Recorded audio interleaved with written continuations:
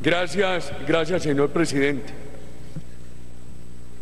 Para expresar toda la solidaridad con Buenaventura y con el Chocó, toda la preocupación por el desdén del gobierno y toda la preocupación por el oportunismo de los violentos que en Buenaventura han pretendido anular la validez de esta protesta social.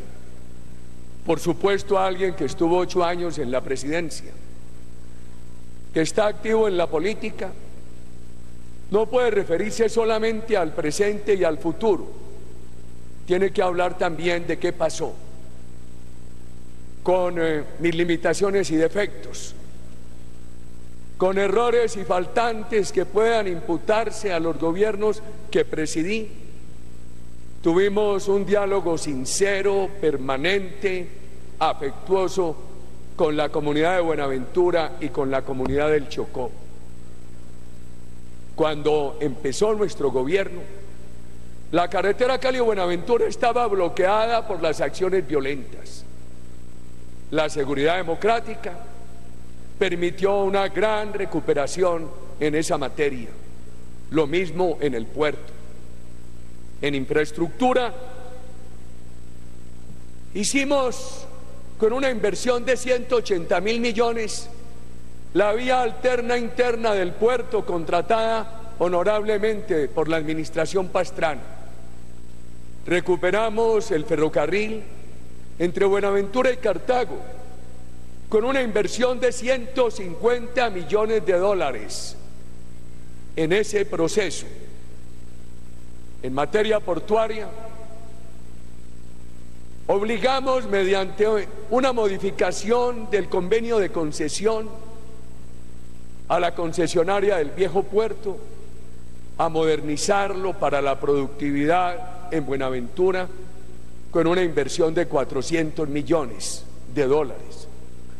Y adjudicamos las concesiones de los puertos de agua dulce y del terminal de contenedores de Buenaventura.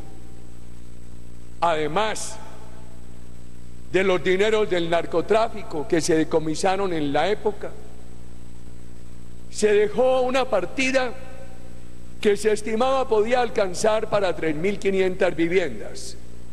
Han construido una cuarta parte dimos los primeros pasos en la profundización del canal de navegación. Con motivo de los Juegos Nacionales, se concluyó un escenario deportivo que había, había sido semiabandonado años anteriores. En aquel acuerdo de prórroga del Plan Colombia, que lo satanizaron denominándolo el acuerdo de las bases, que fue iniciado cuando era ministro el actual presidente y después fue guardado, llevado a los anaqueles por él mismo. Se estaba estudiando la construcción del aeropuerto internacional para tener en sus alrededores una zona de logística y de desarrollo industrial en Familias en Acción, dejamos 17.500. Cuando empezó nuestro gobierno, el SENA atendía anualmente a 10.000 personas. Al final atendía 51.000 por año. En la misma proporción se avanzó con la atención de los ancianos. Todo esto es poco frente a las necesidades de Buenaventura. Seguramente faltó mucho, pero eran buenas semillas. Oiga, señor presidente, en el régimen subsidiado de salud, cuando llegamos había 63 mil personas afiliadas, cuando terminamos 196 mil. Por supuesto, con el hospital en las circunstancias en que está, prestarle servicios de calidad a la comunidad es imposible.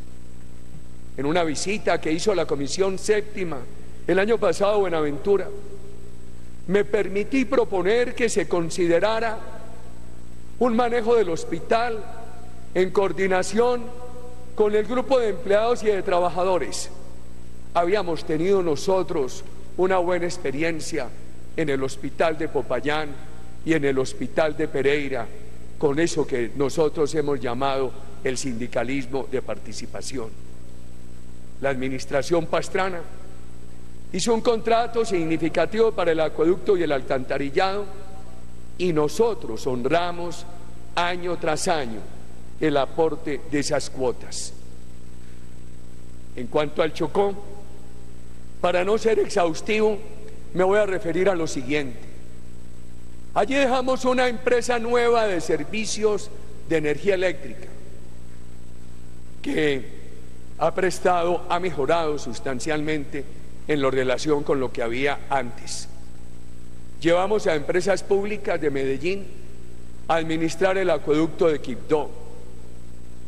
Hicimos electrificación en sitios bien lejanos del departamento y deploro que cuando nosotros pudimos llegar a Río Sucio y a otros municipios y quedó en plan la línea que atravesaría el río Atrato para llegar a Candí, que ya lo habíamos conectado con los sitios turísticos cercanos a la frontera con Panamá, ese proyecto también se ha abandonado.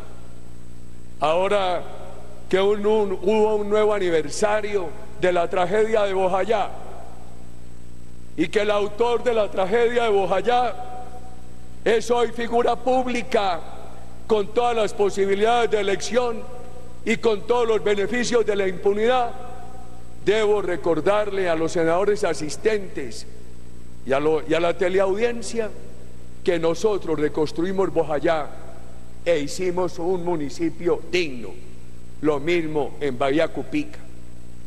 Hubo unos avances. Hicimos allá en Quibdó el mejor edificio del SENA de Colombia, con unas condiciones totalmente ajustadas a los requerimientos climáticos. Y avanzamos en ese programa tan importante que me introdujo mi predecesor, el presidente Pastrana, de Familias en Acción.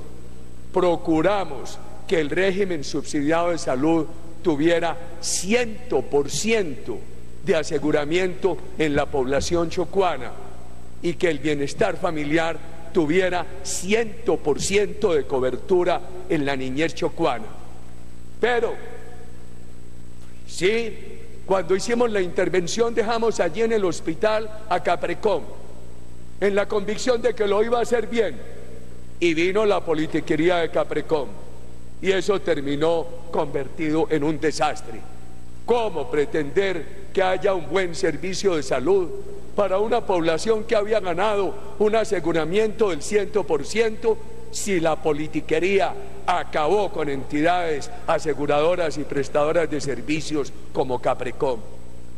Señor presidente, el país no necesita anuncios electorales al país no se le puede tratar como a una masa dispuesta a venderse. Eso que quien me antecedió en el uso de la palabra denunciaba que ocurrió en Buenaventura, donde el mandatario fue con la chequera a comprar el voto, también pretendió hacerlo el año pasado en el plebiscito en ciudades como Barranquilla. El país lo que necesita es una administración austera que sea capaz de recuperar la economía. Como va la economía, señor presidente, aquí para nada va, a haber recursos. Que sea capaz de recuperar la dinámica de la política social y que tenga un diálogo no de ocasión, no de elecciones, sino permanente, con cariño, con solidaridad, sin promeserismo, pero con compromiso profundo con la población, con, los sectores populares de la patria. Gracias, señor presidente.